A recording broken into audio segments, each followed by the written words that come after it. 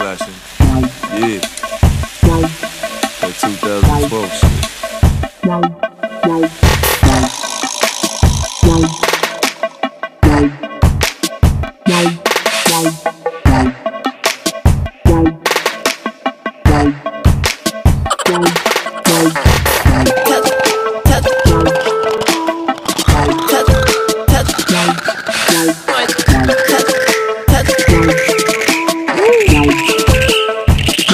It ain't